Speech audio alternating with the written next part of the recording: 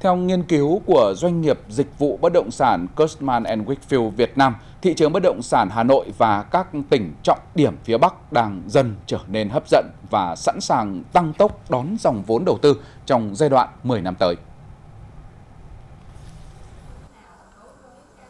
Báo cáo dẫn số liệu Bộ Kế hoạch và Đầu tư cho thấy, Hà Nội và 5 tỉnh trọng điểm miền Bắc tiếp tục giữ vị trí top 10 trung tâm thu hút dòng vốn FDI nhiều nhất Việt Nam với lượng đầu tư trực tiếp nước ngoài đạt 16,7 tỷ đô la Mỹ trong năm 2023. Thị trường bất động sản đang tiếp tục được hưởng lợi từ làn sóng mở rộng đầu tư từ các nhà sản xuất lớn.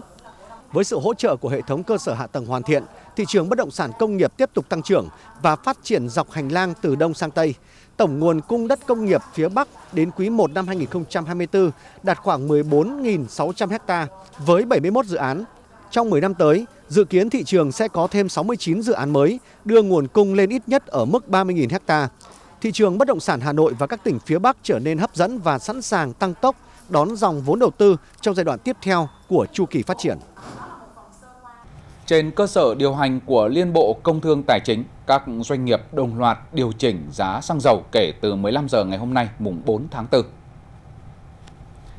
Theo đó, giá xăng E5 tăng 290 đồng một lít, giá bán là 23.910 đồng một lít. Giá xăng RON 95 giảm 10 đồng một lít, giá bán là 24.800 đồng một lít. Giá dầu diesel tăng 290 đồng một lít, giá bán là 20.980 đồng một lít. Tương tự các kỳ trước, tại kỳ điều hành hôm nay, Liên Bộ Tài chính Công Thương không trích lập và cũng không chi quỹ bình ổn đối với hầu hết các loại xăng dầu, trừ trích lập với dầu ma rút 300 đồng một lít.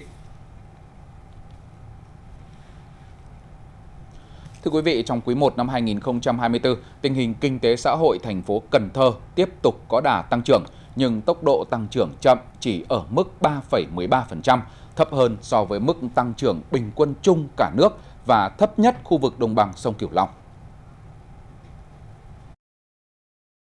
Thành phố Cần Thơ đã đặt mục tiêu tăng trưởng cả năm 7,5 đến 8%, muốn như vậy từng quý phải đạt 7 đến 8%. Hiện tại thành phố phân tích thấu đáo các thông số, số liệu, dữ liệu đầu vào đầu ra, các chỉ số tăng trưởng và nghiên cứu, tổng hợp chính xác đầy đủ để có những số liệu xác thực phục vụ cho công tác lãnh đạo chỉ đạo chung, phần đầu quý 2 và quý 3 phải tăng tốc để đạt chỉ tiêu cả năm. Về thu ngân sách trong bối cảnh đầu năm còn khó khăn trong việc tăng thu bởi đã tập trung thu vào cuối năm để hoàn thành chỉ tiêu năm 2023. Quý 1 năm 2024 lại trúng vào dịp Tết nhưng đã đạt được hơn 20% dự toán Trung ương giao là con số tích cực. Tuy nhiên, muốn thu bền vững, có chất lượng, tăng thu để có nguồn chi, phải tăng tốc độ phát triển kinh tế, tăng trưởng kinh tế mới quyết định tăng thu ngân sách bền vững tại địa phương. Thưa quý vị, từ 6 giờ sáng nay, ngày 4 tháng 4, Cục Đường bộ Việt Nam chính thức thực hiện hạn chế phương tiện đi vào cao tốc Cam Lộ La Sơn. Theo đó, thì xe khách trên 30 chỗ, xe khách giường nằm, xe tải bằng hoặc lớn hơn 60 không được đi vào tuyến đường cao tốc này. Và trong hai tuần đầu, thì các lực lượng chức năng sẽ tập trung điều tiết giao thông và chỉ nhắc nhở các phương tiện vi phạm.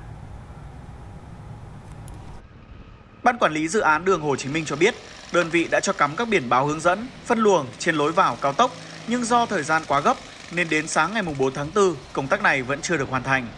Nhiều xe khách trên 30 chỗ, ô tô khách giường nằm, xe tải vẫn đi vào điểm đầu tuyến cao tốc tại huyện Cam Lộ, tỉnh Quảng Trị vì chưa cập nhật được thông tin. Cơ quan chức năng đã phải bố trí ứng trực ngay đầu tuyến để hướng dẫn các lái xe điều khiển phương tiện. Trong ngày hôm nay, Cục Quản lý Đường bộ cũng đã huy động lực lượng thanh tra từ Quảng Bình vào để hỗ trợ lực lượng thanh tra, cảnh sát giao thông của Cục làm công tác tuyên truyền, phân luồng, hướng dẫn lái xe trên toàn tuyến, đặc biệt là đoạn qua tỉnh Thừa Thiên Huế, nơi thường xuyên xảy ra tai nạn kể từ khi được đưa vào vận hành.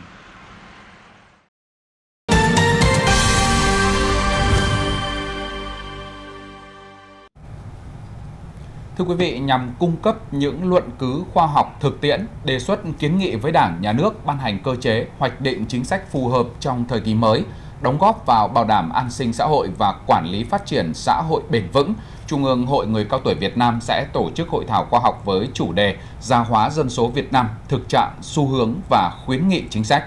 Dự kiến hội thảo sẽ diễn ra trong ngày 10 tháng 4 tới đây tại thành phố Ninh Bình với sự tham gia của 250 đại biểu. Đó là những thông tin được Trung ương Hội Người Cao Tuổi Việt Nam cung cấp tại buổi gặp mặt báo chí diễn ra vào sáng nay. Hội thảo khoa học là diễn đàn trao đổi về vấn đề già hóa dân số nhanh ở Việt Nam trên cơ sở bảo đảm tính định hướng tư tưởng chính trị của Đảng, cung cấp các góc nhìn đa chiều về những vấn đề căn cốt liên quan tới cơ chế chính sách phù hợp ở nước ta. Hội thảo cũng là sự kiện có ý nghĩa chính trị quan trọng, là kết tinh trí tuệ, tầm huyết, trách nhiệm của các chuyên gia, cán bộ, lãnh đạo, quản lý quan tâm tới việc bảo đảm an sinh xã hội, trong đó có bảo vệ, chăm sóc và phát huy vai trò người cao tuổi Việt Nam trong bối cảnh già hóa dân số. Các nội dung thảo luận bao gồm thực trạng già hóa dân số Việt Nam hiện nay, một số vấn đề đặt ra về phát triển kinh tế, xã hội đối với người cao tuổi và tổ chức Hội người cao tuổi Việt Nam đến năm 2030, tầm nhìn đến năm 2045, xu hướng, giải pháp và tầm nhìn chính sách thích ứng với giả hóa dân số thời gian tới, đặc biệt tập trung tư vấn chủ trương, đường lối, cơ chế, chính sách phát triển kinh tế, xã hội, bảo đảm an sinh xã hội, thích ứng với bối cảnh già hóa dân số ở Việt Nam. Thưa quý vị, vừa qua, tại thị xã Điện Bàn, Trung tâm Sáng kiến Sức khỏe và Dân số phối hợp cùng Sở Lao động, Thương binh và Xã hội tỉnh Quảng Nam đã tổ chức Ngày hội thể thao thân thiện cho trẻ em và thanh thiếu niên khuyết tật trí tuệ và khuyết tật phát triển năm 2024. Hoạt động này thuộc dự án hỗ trợ cải thiện chất lượng sống của người khuyết tật tại các địa phương có tỷ lệ cao trẻ em bị phơi nhiễm chất da cam dioxin do Cơ quan Phát triển Quốc tế Hoa Kỳ tài trợ. Ngày hội thu hút 81 đoàn với 427 trẻ em thanh thiếu niên có khuyết tật trí tuệ, khuyết tật phát triển đến từ ba địa phương ở khu vực miền Trung là Quảng Nam, Thừa Thiên Huế, Quảng Trị và 10 tỉnh thành khác trên cả nước tham gia. Thông qua ngày hội nhằm giúp các trẻ em thanh thiếu niên khuyết tật trí tuệ và khuyết tật được thể hiện và phát huy tối đa khả năng của mình thông qua các môn thể thao đa dạng như bơi, chạy, nhảy bao bố, đẩy xe lăn, kéo co, cùng các trò chơi vận động tự do như bật xa, vượt chướng ngại vật và góc sáng tạo nghệ thuật. Các đơn vị tổ chức mong muốn thông qua ngày hội sẽ nâng cao nhận thức xã hội về trẻ khuyết tật trí tuệ và khuyết tật phát triển để có các chương trình, phương pháp thúc đẩy đối tượng này hòa nhập xã hội thông qua sân chơi thể thao thân thiện, an toàn, từ đó thúc đẩy các mô hình giáo dục, vui chơi, giải trí, vận động lành mạnh và phù hợp tại các địa phương, giúp các em rèn luyện thể chất và tinh thần, nâng cao các kỹ năng xã hội như lắng nghe, hợp tác, giao tiếp, tăng cường nhận thức, phát triển khả năng chú ý để hòa nhập cộng đồng.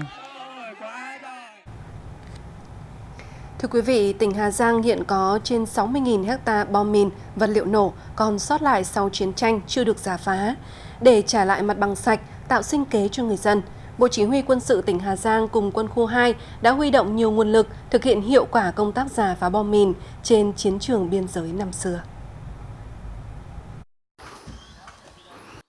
Dù nắng cháy mưa xa, các chiến sĩ Lữ đoàn 543 quân khu 2 vẫn miệt mài nỗ lực giả phá các vật liệu nổ còn sót lại sau chiến tranh, trọng tâm là tại tuyến biên giới huyện Vị Xuyên. Với mệnh lệnh từ trái tim, những người lính công binh vẫn luôn vượt qua gian khó, hiểm nguy để giả phá, thu gom, phân loại và xử lý thành công hàng chục tấn bom mìn, vật liệu nổ, trả lại màu xanh cho đất. Bản thân tôi đã cảm thấy rất là tự tin Ờ, mình dũng cảm hơn ờ, vinh dự hơn khi mà đón nhận cái nhiệm vụ ờ, đặc biệt là cái nhiệm vụ giả phá vật cản. Nó đầy nguy hiểm và cũng là cái niềm vinh dự khi mà mình làm cái nhiệm vụ đó. Khi mà chúng tôi hồi sinh ở các cái vùng đất chết, thì bà con dân bản cảm thấy an toàn và đã tiến hành vào trồng cây chăn nuôi ngay trên cái vùng đất chết mà chúng tôi đã hồi sinh. Dự án giả phá bom mìn vật liệu nổ phục vụ tìm kiếm quy tập hải cốt liệt sĩ giai đoạn 2 triển khai từ năm 2023 trên địa bàn ba xã Minh Tân, huyện Vị Xuyên, xã Tả Van huyện Quản Bạ với diện tích 1.500 hectare. Đến nay, các lực lượng công binh đã thực hiện được hơn 60% diện tích, 3 trên 8 đơn vị đã hoàn thành diện tích giả phá bom mìn và vật liệu nổ với diện tích hơn 620 hectare quá trình tổ chức giả phá thì chúng tôi đã bảo đảm nhanh gọn chính xác an toàn bảo đảm an toàn tuyệt đối cho người cũng như là các cái trang bị trong quá trình tổ chức thực hiện. Quá trình tổ chức thực hiện đến nay thì đảng ủy chỉ huy